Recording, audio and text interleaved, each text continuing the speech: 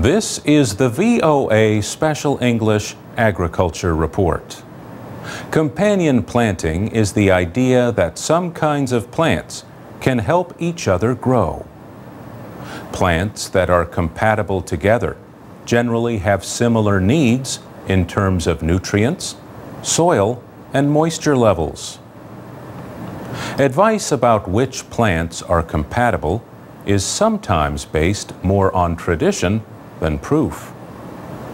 But experts say there is evidence to support certain combinations. These can improve harvests, reduce disease, and help with pest control by attracting helpful insects. For example, some kinds of soil bacteria take nitrogen from the air and make it into a form that plants can use. The plants hold the nitrogen in their roots. Legumes are especially good at this nitrogen fixing.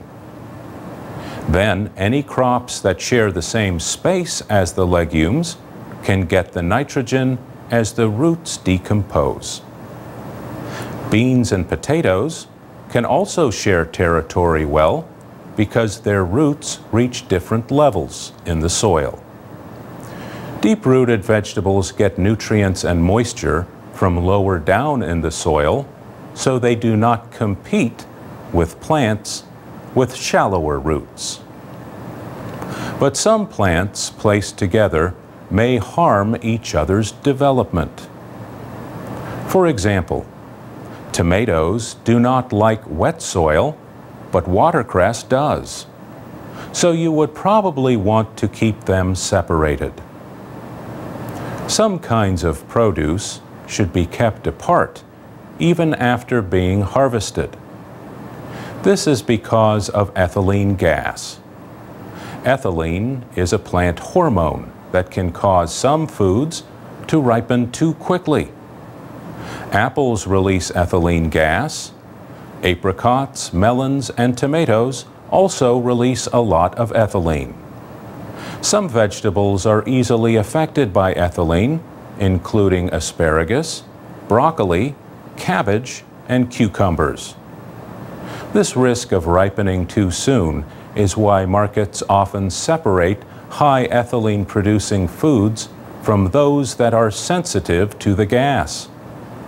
But if you put an apple in a bag with a green banana, the ethylene from the apple will make the banana ready to eat sooner. What about peaches, plums, and nectarines that are too firm to eat? These kinds of fruit do not need any help from an apple. They release enough ethylene to ripen themselves. But that does not mean there is no way to get the job done faster. Growers suggest placing the fruit in a fruit bowl or in a paper bag with the top folded over. Keep the fruit at room temperature out of direct sunlight. Once the fruit is soft enough to your liking, it should be either used or refrigerated to keep it from getting too ripe. Yuck. For VOA Special English, I'm Mario Ritter.